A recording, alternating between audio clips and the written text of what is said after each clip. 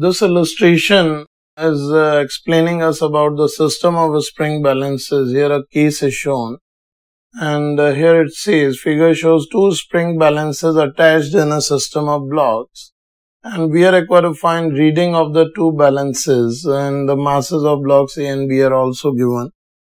Here uh, for solving the situation we need to calculate the tension the strings because we know spring balances always read the tension and string in kilogram force.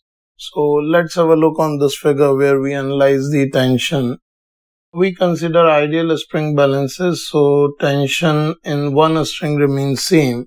Say here tension is T1 and in this string if it is T2 then for ideal pulley string system here tension will be T2 by 2 and T2 by 2.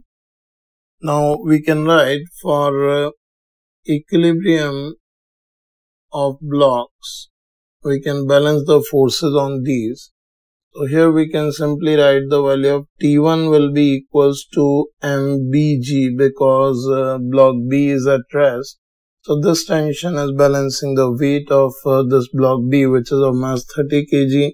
So this can be written as 30G which is 300 Newton. So if we calculate uh, the reading of SP2.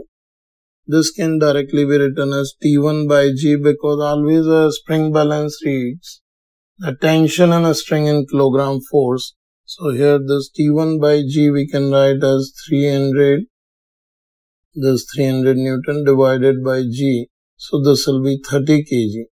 So spring balance 2 will read uh, the value of the actual weight of block B that is 30 kilogram. This is one answer for this problem and uh, for uh, a spring balance 2 we need to calculate the value of tension T2 so now we can write for block A here we can see in upward direction it is T2 and downward it is T1 plus its weight so we can write T2 is equals to T1 plus MAG here the value of T1 we already calculated as 300 Newton plus mass of block A is 20 kg. So this 200. So The value we are getting for tension T2 is 500 Newtons. So in this situation T2 is 500 Newtons. So we can directly get the uh, reading of uh, SP1 which is T2 by 2 by G because the string in which SP1 is connected, the tension is T2 by 2. So this will be 250 by G that is equals to 25 kilogram and that will be another result of the problem.